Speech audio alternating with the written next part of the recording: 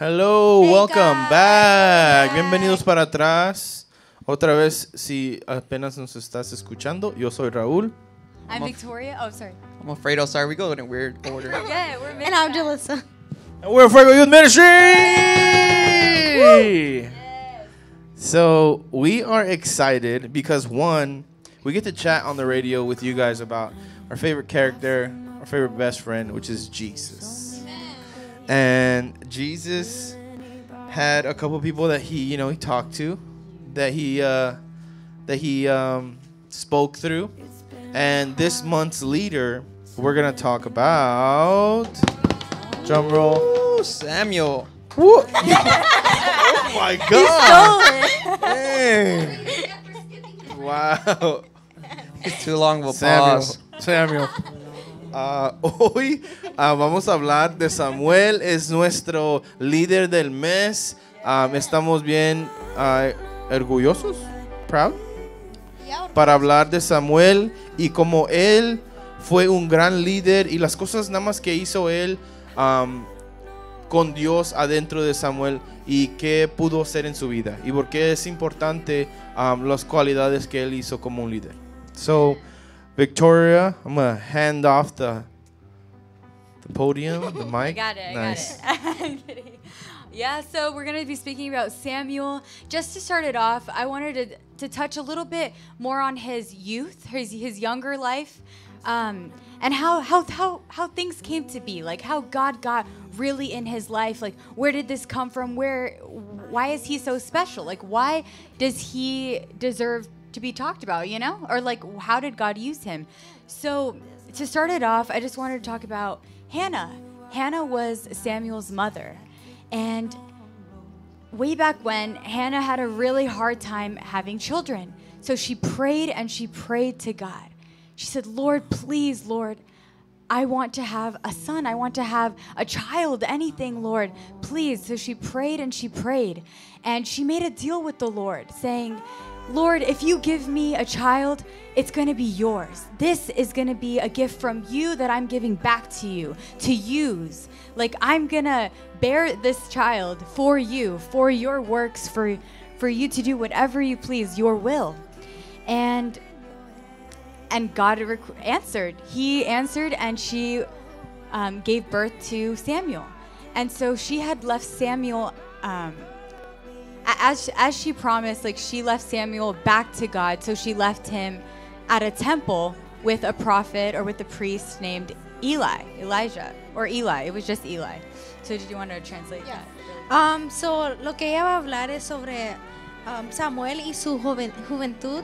um, que cuando su madre Hannah estaba orando, um, ella no podía tener bebés. So, ella le estaba orando a Dios, um, clamándole, diciendo que si le daba un bebé, que ella se lo iba a dar a Dios, que ella pudiera usarlo como él le placiera, que si ella- él le daba el privilegio a tener este bebé, él iba a hacer para su obra, para le iba a regresar lo que él le había dado.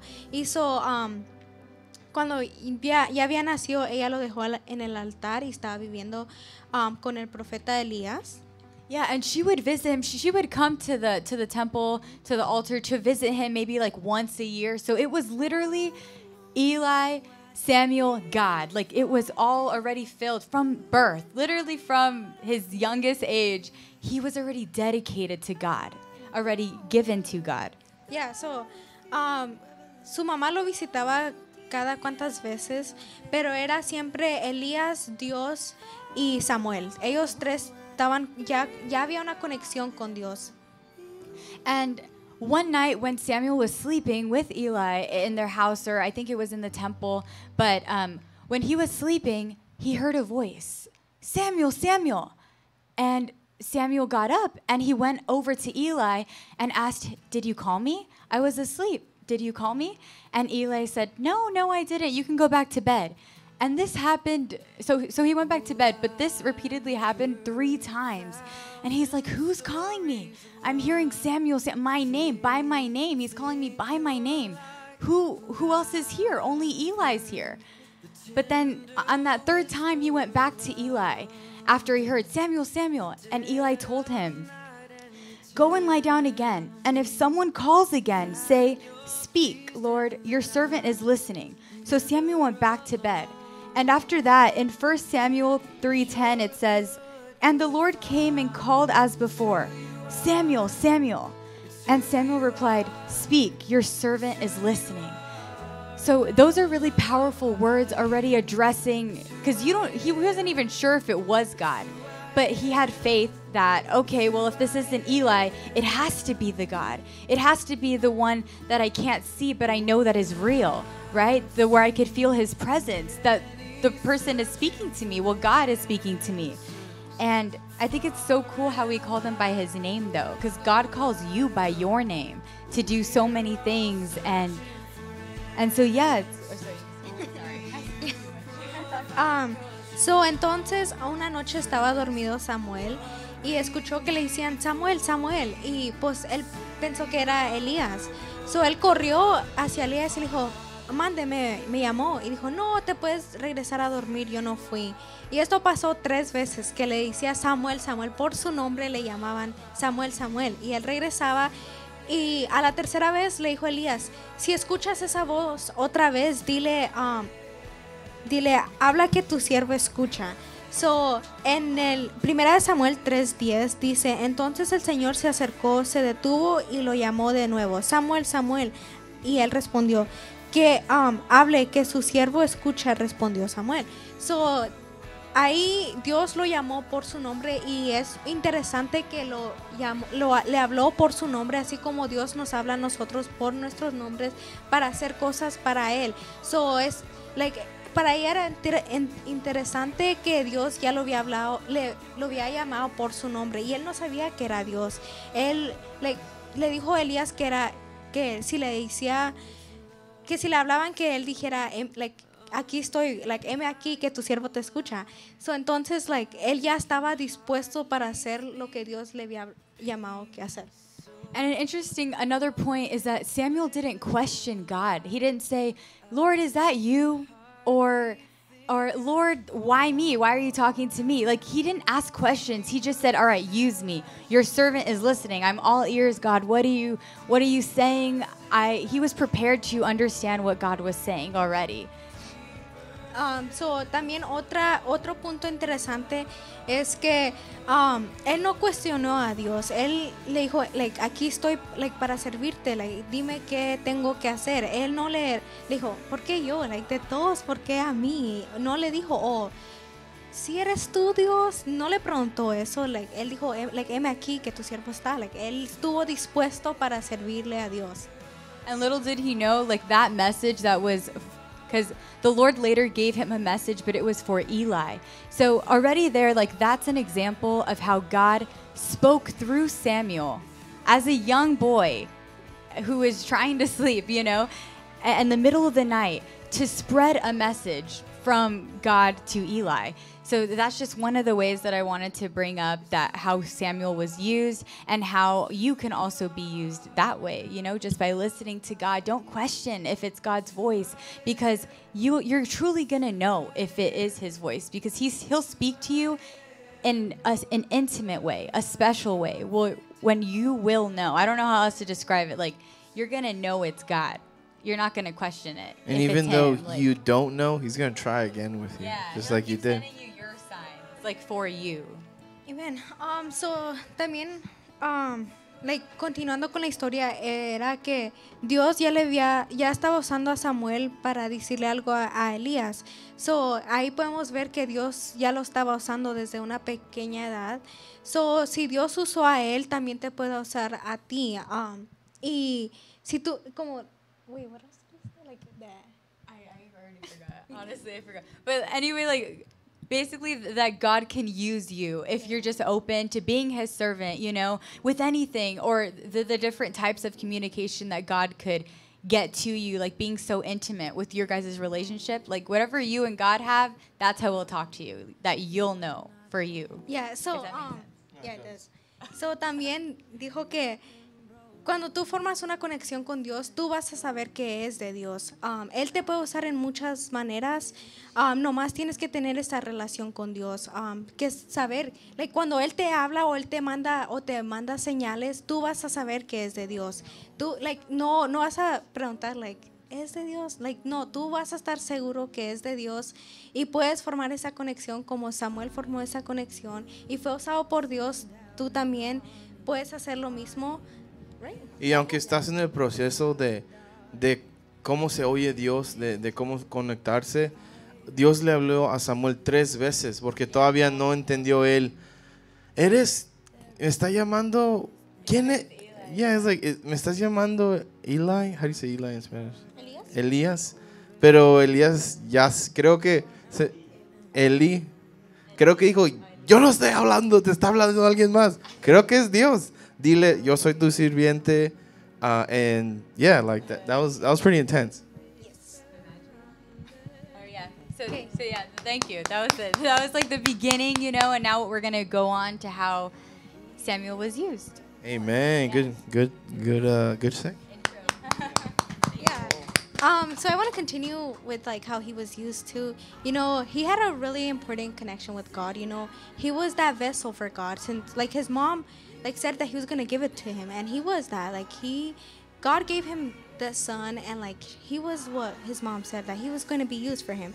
So I think it's important how like he prophesied to so many people he anointed so many people and i just wanted to point out how he anointed the first two kings of um israel like they didn't have any kings like they didn't even know what that was they just had judges and like they would come to give them advice and then god gave it to samuel to anoint these kings and in the bible it says that they were like one of the best kings there. Like David, he did so much. You know, he failed. We already talked about him. Like he failed, but he was a good leader too. Like he knew that he would sin and he would like say for like forgive me God and he wouldn't do it ever again. Like it takes someone special to be a king, you know. It wasn't anyone. And God gave it to Samuel to anoint these people. Like imagine like like how like connected he was God to anoint a king to yeah the authority that god gave him like because imagine like if if you don't have that connection with god and you anoint someone because you want to like out of your emotions that's not gonna prosper that's gonna be bad like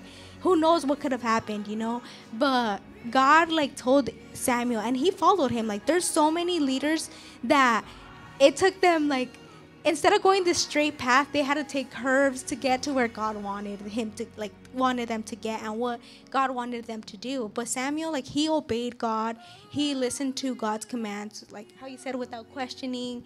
And i wanted to read first samuel 3.19 and it says sorry um, as samuel grew the lord was with him and everything samuel said proved to be reliable. So you know, Sam, Samuel was walking with God. He he listened to everything that God said, and that's why it says that whatever Samuel did, and like it was proved to be right because God was with him. God wasn't going to like embarrass him and say like, never mind, like I don't want you to do that. After he did it, like of course not. Like God's perfect, and it's just like interesting how God used him since he was like little. Like you know, he was already a vessel for God, and just like us too. Like we we might not have to be little. You know, we can barely come, but God's going to use us in so many ways that like we don't even think. Like who would have thought?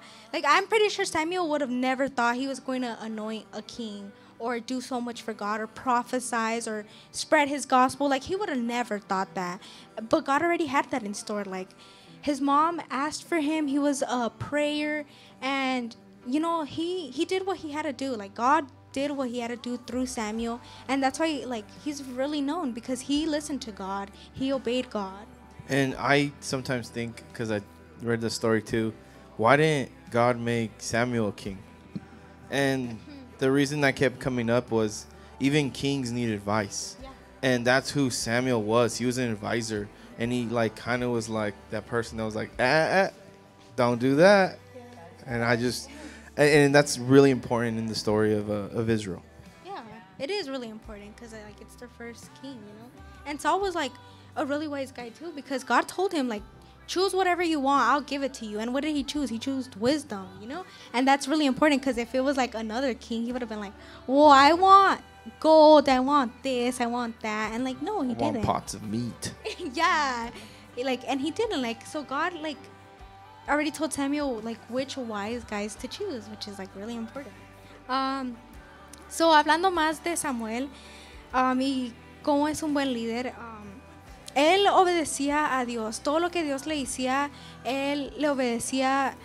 Um, y un ejemplo de esto es que él ungió a los dos primeros reyes de Israel y que es algo muy importante porque Dios le dijo, ¿quién más le, hubiera dicho? Porque es importante escoger un- like, los primeros reyes de Israel. Porque si fuera por sus propias emociones, a lo mejor hubiera escogido a un rey incorrecto, pero Dios ya sabía qué reyes iba a escoger. um, y al, ya, ¿mande? Oh, ya, y um, so, el primer rey era Saúl, Saúl. Ya, y él era un hombre bien sabio. Dios le dijo, escoge lo que tú quieras. Y él escogió sabiduría. Like, desde ahí podemos ver que Dios ya le había dicho a Samuel quién escoger y escogió a un rey correcto porque él no pidió oro, uh, comida. Like, no, él escogió sabiduría para poder guiar a su pueblo. Y luego después ungió a David.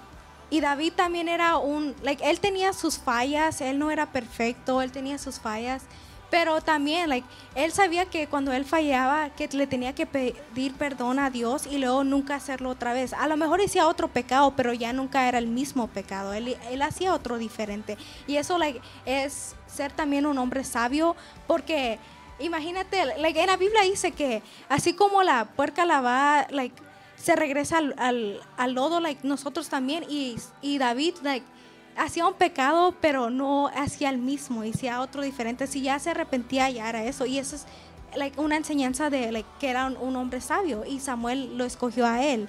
Um, y pues like, ahí podemos mirar que tuvo una grande conexión con Dios porque Dios le hacía le decía qué hacer y no como like hay muchos líderes en la Biblia todos tienen sus fallas pero hay líderes que no querían hacer lo que Dios quería los mandaba a hacer so ellos tuvieron que tomar un una like ruta más like larga porque no obedecían a Dios. Like si ellos decían like no no quiero hacer eso like algo pasaba y lo tenían que hacer porque Dios ya los había mandado que hacer. Y Samuel obedecía like si Dios le decía le decía que hiciera algo like él lo hacía.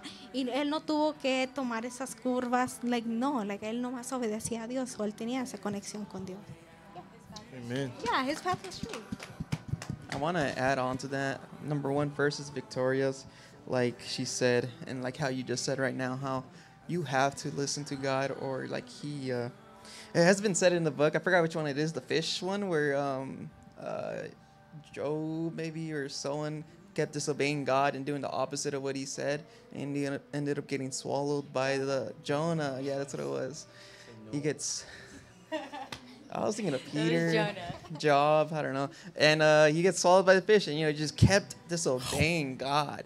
And the people around him saw all this treacherous act of like the rainstorm and thunderstorm coming around. So if you're like, like she said, it's obvious when God is calling to you and you know when God is calling to you. And, and if you don't obey to his command, it's it's not going to be nice. It's, it's going to hurt.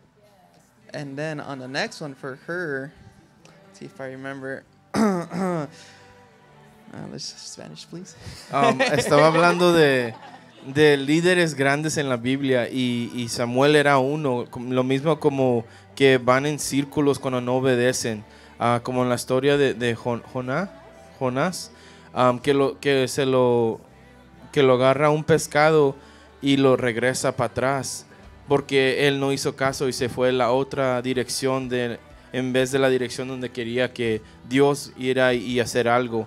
Y eso pasa con muchos de los líderes en la Biblia que en veces no quieren hacer algo, pero cuando Dios dice algo se va a cumplir, aunque quieran o no. Y, y es más mejor trabajar en las cosas de Dios en vez de esperar de circular otra vez y, y hacer otros, um, otros um, errores.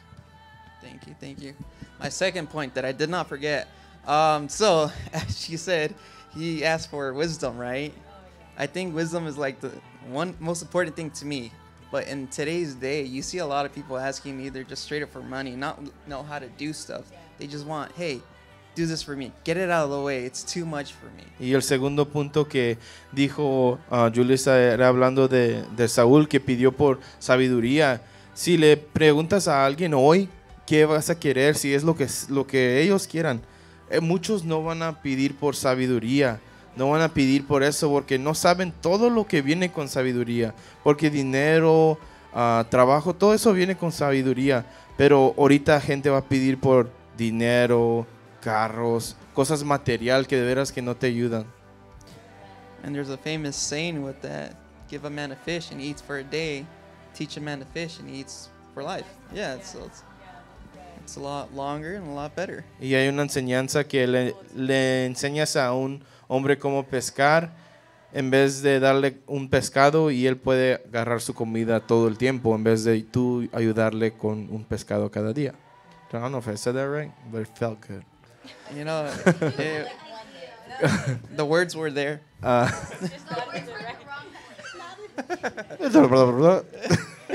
Amen. Uh, but with that, I'm gonna go ahead and jump into my part. I will be mainly talking about Samuel, First Samuel seven, that whole chapter. Uh, don't worry about showing the whole chapter to you. It's just one verse I'll talk about later. But in general, the Israel they turned back to God and to uh, Samuel, and so uh, Samuel told them, "Hey, you know, forget all your other gods. You know, get back to worshiping our God. Show your love and make it meaningful." Y ah, voy a estar hablando de primer Samuel. Y lo que estaba hablando en este am, capítulo era que Samuel les decía a la gente que no anden alabando a otros dioses. Deja eso, ya déjalo. Ven y adora a nuestro Dios. He told them to uh, go assemble at Mizpah, however you say that. And then um, they assembled there, you know, and as they assembled there, the Philistines learned about them, you know, the enemy of God, the ones that want to destroy all the Israelites. And they're charging over there. And Israel see them and coming, they go run to Samuel saying, hey, please, please help us. Y estaba hablando de cuando Samuel les dijo que reúnen a todos, a todo Israel en, en Mizpa, am, um, y todos corrieron porque querían hacer parte de, de ayudar ahí. And so Samuel, he uh, he does a quick offering, and he makes miracle happen. So this verse says, Y Samuel hace un, um, how do you say offering? Una ofrenda y, y pasa un milagro. so in 1 Samuel 10, or 1 Samuel 7:10, it says, while Samuel was sacrificing the burnt offering, the Philistine drew near to engage Israel in battle. But that day the Lord thundered with loud thunder against the Philistines and threw them in such a panic that they were routed before the Israelites. Y 1 Samuel 7:10 dice, y aconteció que mientras Samuel sacrificaba el holocausto, holocausto, los filisteos llegaron para pelear con los hijos de Israel, mas Jehová tronó aquel día con gran estruendo sobre los filisteos y los, atemoriz- y los atemorizó y fueron vencidos delante de Israel. And so as they were fleeing and trying to get away, you know, they're all struck and immobilized. They don't know what's going on.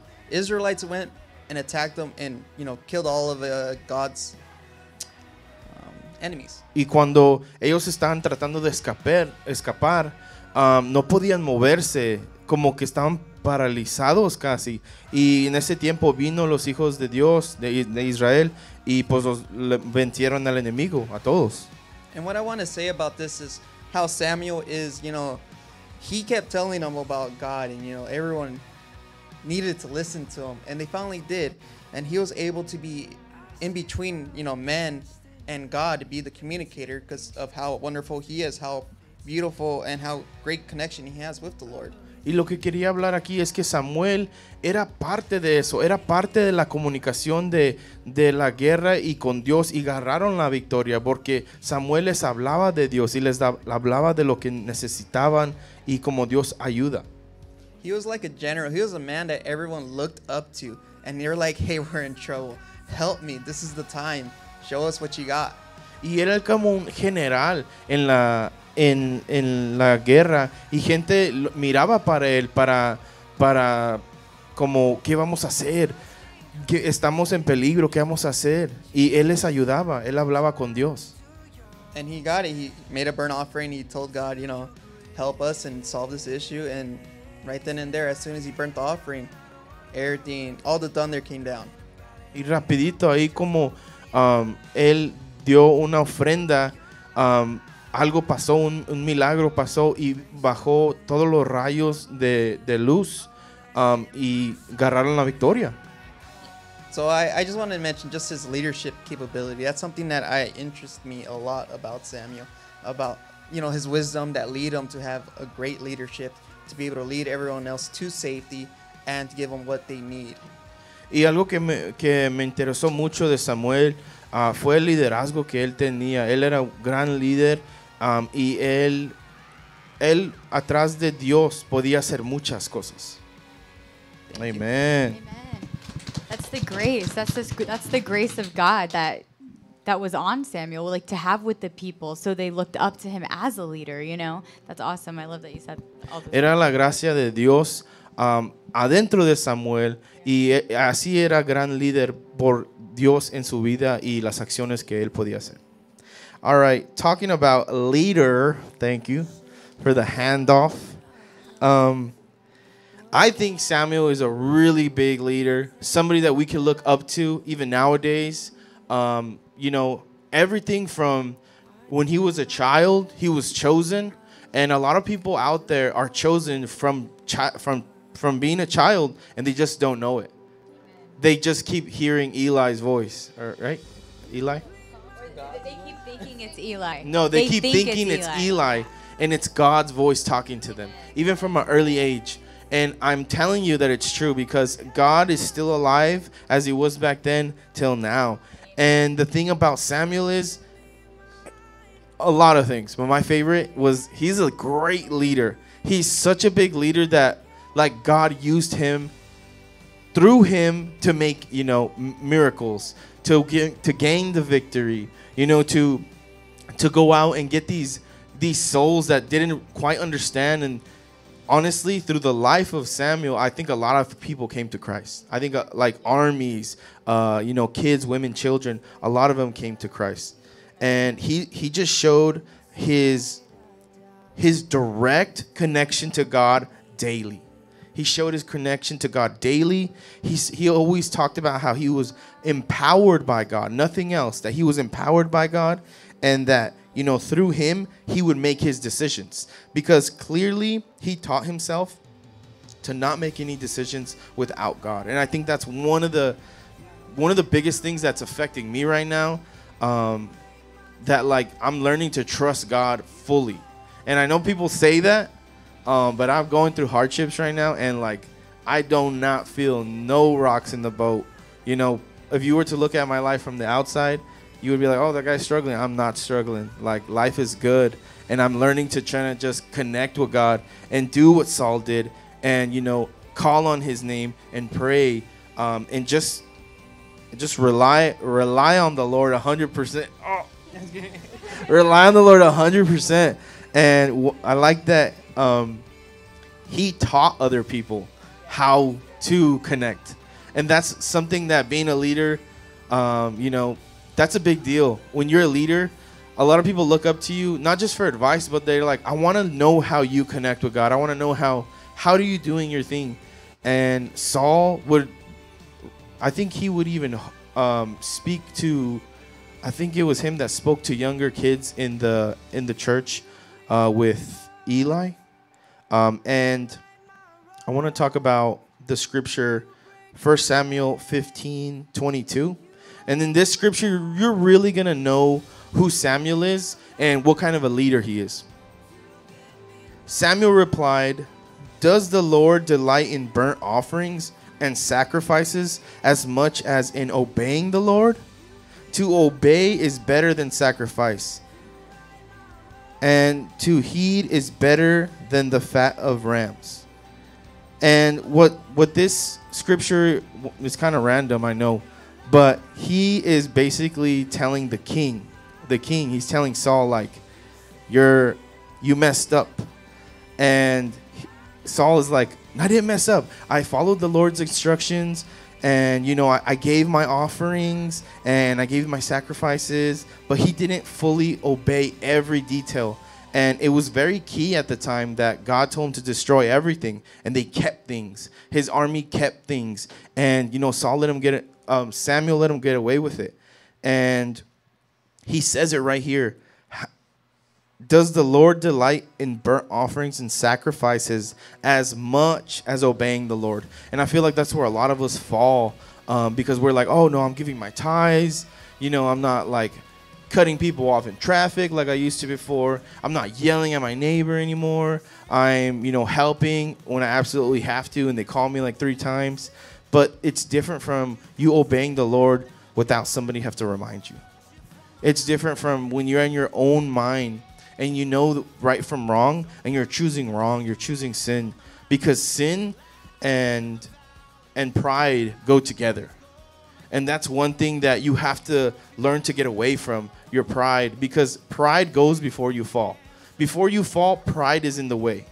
And I just think that if we're a little bit more like Samuel, you know, and we are obedient as Samuel, because Samuel was an obedient person, like to the T, and he taught others how to be obedient.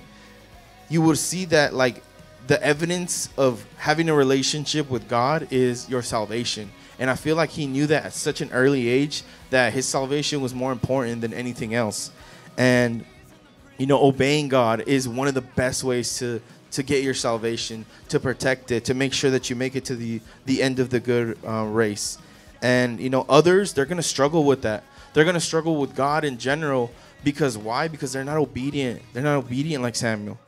And you know, like I said before, pride and sin always go together um, because pride is not from God. Pride is not from God. That's like, oh, you know, he disgraced your name. Fight him till the end. Um, God's a sovereign God, and He does things His way.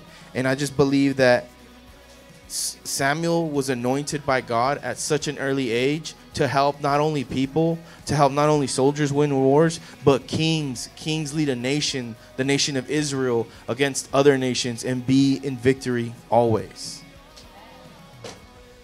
Um, I'm going to read this in Spanish real quick. Try to go fast. Ah, voy a hablar de, de Samuel, 1 Samuel 15, 22. Y Samuel dijo, si complace Jehová tanto a los holocaustos y, holocaustos y víctimas como en que se obedezca a las palabras de Jehová, cierta, ciertamente el obedecer es mejor que los sacrificios y prestar atención que la grosura de los carneros. Ay, perdón. Y lo que quería hablar de esto es que um, Dios, Dios le dio una conexión grande, tenía una conexión grande con Samuel y con, por esa conexión él podía salvar mucha gente, ah, enseñar, ser un líder y ayudarle cómo comunicar, comunicarse con Dios. Y con desde una edad chica él sabía y él hablaba, escuchaba de Dios, como dijo Victoria, hasta le llamó tres veces directamente. Y también como dijo Alfredo, Dios le dio la victoria porque él daba ofrenda, él sabía cómo comunicarse con Dios y hasta le ayudó a ganar una guerra a Israel. Y no nada más eso, él ayudaba a los, a los reyes, los reyes que tenían preguntas, los reyes que, que, que gobernaban una nación y estaban encargados de todos, ellos iban a Samuel para su dirección, para ayuda, para comunicarse ellos con Dios, porque una- unas gentes no tenían tan ah, comunicación tan grande. Y por eso Samuel era bien importante para mí para hablar de que la comunicación que tenía eh, eh, nada más era algo tan lindo que si la teníamos ahorita no teníamos muchos problemas porque sabíamos que estaríamos cuidados, protegidos, amados y que el enemigo no nos podía tocar. All right, guys, we're running out of time. Uh, I feel like my mouth was just like a machine gun right now. That's good. That's good. That's good words.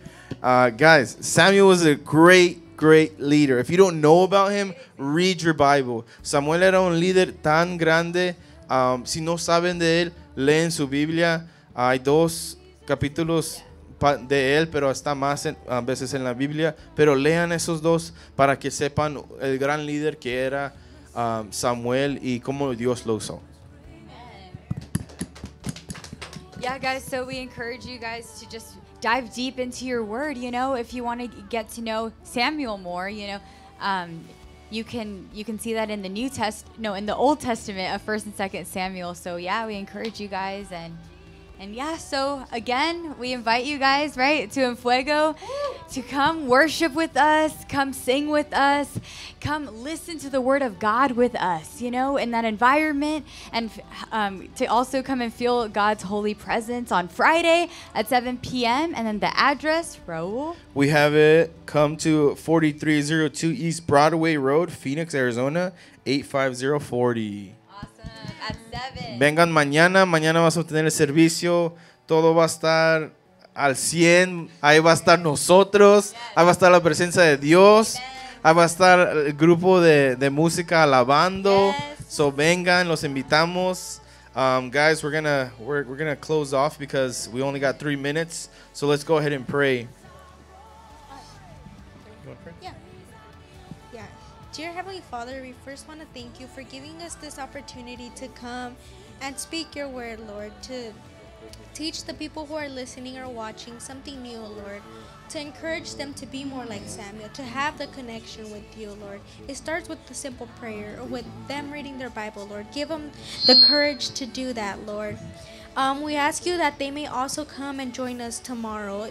Um, we're going to have a beautiful service to come serve you. Thank you for all the things you've done in our lives, Lord, for helping us through the week, Lord. So we encourage those who are watching to come join us in person, and if they can't, to watch us on Facebook or Instagram or YouTube, Lord.